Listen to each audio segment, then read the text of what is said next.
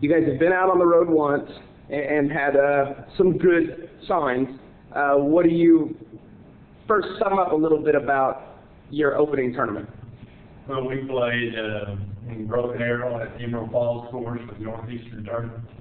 18 uh, very good programs out of our region.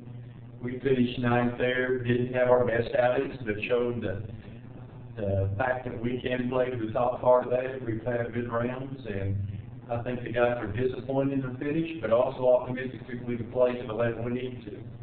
Now, I know you guys as a team, because of you know the practice and stuff you get in, are looking forward to your home event this week, coming up on Monday and Tuesday. Tell me a little bit about looking ahead to the Texoma Championship.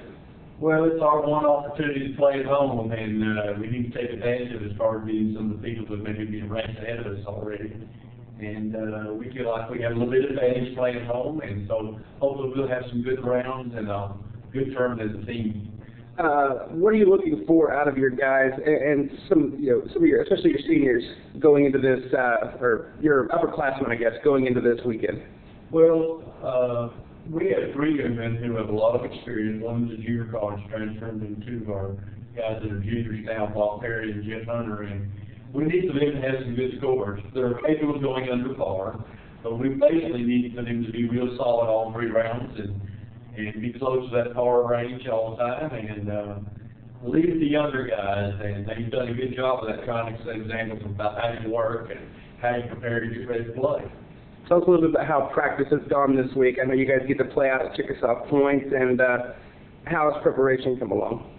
Well, uh, I've seen uh, much more consistency in the total team as far as scores being turned in. Uh, we had eight rounds uh, on Friday that were 74 or better, and that's the kind of area that we need to be in as a team to be real competitive in Division Two.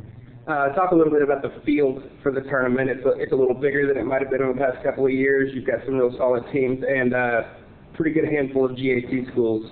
Yes, we have uh, in our uh, Great American, let's see, we have uh, Monticello, Arkansas Monticello, Arkansas Tech coming in, Southern Arkansas.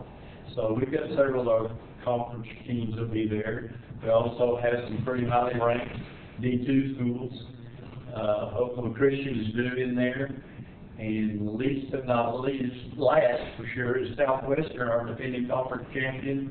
To a very good start winning tournament last weekend. So some good competition that we need to be able to compete with.